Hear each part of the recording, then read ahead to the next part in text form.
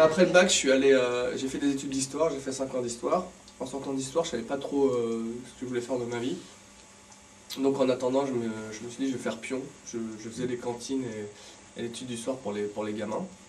Et puis le Bondi Blog est arrivé, une amie a envoyé des, textes que j'écrivais un peu en, petit comité pour faire rire les gens, ça leur a plu, ils m'ont demandé d'écrire euh, d'autres textes. C'est comme ça que je suis arri- arrivé au Bondi Blog.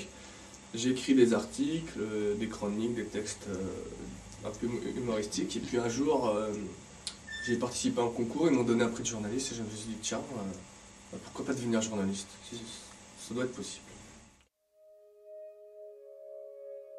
Alors, euh, en 2005, je ne sais pas si vous le savez, mais il y a eu des, des, émeutes en banlieue. Certains appellent ça aussi des révoltes.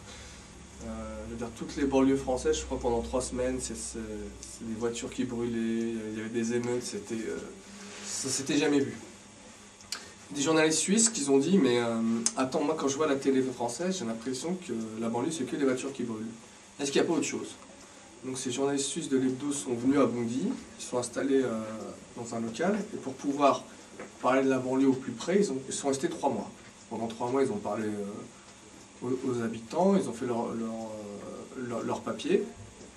Et moi, à, ce- à cette époque-là, je me suis dit, quand je les ai vus débarquer à Bondy, je me suis dit, oh non, encore des journalistes qui vont encore, euh, cracher sur ma ville. Mais petit à petit, les, papiers, je commençais à reconnaître mon, quotidien. Parce qu'il n'y avait pas justement que des voitures qui brûlent ou pas que des trafics de drogue, il y avait autre chose. Il parlait de la vie des gens.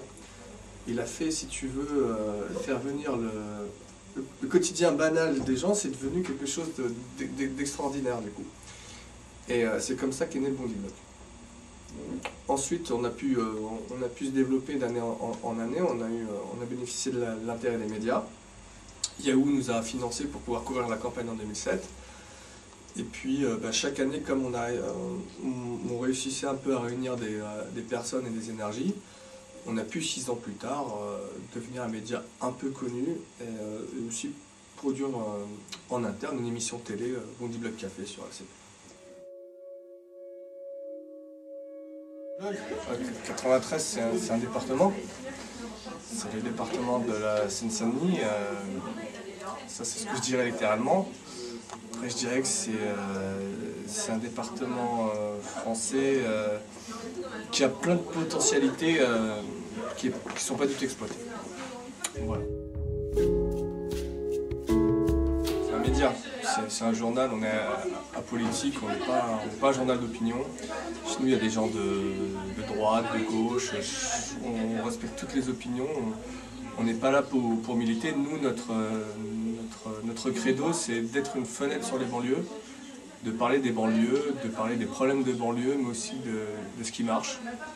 Nous sommes un, un journal sur les banlieues françaises. Ah oui, oui, nous, on respecte l'éthique journalistique. Euh, cer- Certains d'entre nous sont, même journalistes, ils ont la carte de presse. Et même les blogueurs qui n'ont pas la carte de presse, pardon, même les blogueurs qui n'ont pas la carte de presse, euh, on leur demande de, respecter les codes déontologiques, c'est-à-dire vérifier leurs sources, pas raconter des mensonges. euh, non, non, ils, font un travail journalistique. Mais avec quel- quelques différences. Certains de nos blogueurs peuvent utiliser le jeu, c'est-à-dire ils peuvent, ils peuvent y avoir une certaine subjectivité dans leurs articles, puisque beaucoup racontent leur vécu. Non, on n'est pas des fixeurs. Autant pour les partis ou autant pour les, euh, journalistes, on n'est pas des fixeurs. un fixeur, si tu veux, c'est une personne. euh, quand un journaliste va dans un pays, il, euh, comme il ne connaît pas bien le pays, il prend un- un- une personne locale qui va le guider dans, ses reportages. Ça se fait beaucoup dans les pays en guerre. Ah non, la banlieue, c'est à 10 minutes de Paris, on n'est pas, on, pas là pour. euh, on n'est pas là pour faire visite, on n'est pas une agence touristique pour les, euh, pour les journaux ni pour les politiques. Non, si les politiques viennent en banlieue, nous, on va- en faire un papier, avec notre regard. Non, on n'est pas là pour les, accompagner. Euh, je dirais on est un journal participatif, c'est-à-dire qu'on a une structure, on a un noyau dur de journalistes qui sont là depuis longtemps, qui, un- sont un peu l'ossature du Bondi Blog, c'est-à-dire ceux qui mettent en ligne les papiers, qui les corrigent, euh, dont je fais partie, plus les rédacteurs en chef qui eux sont, des vieux routards euh, du journalisme. Et on a des gens qui viennent participer, c'est-à-dire des, étudiants, des travailleurs, euh, ouais, je peux dire qu'on est plutôt un média, euh, on est un peu média, média, hybride, un média participatif avec un noyau dur de, gens qui, postent régulièrement. C'est un peu notre équipe.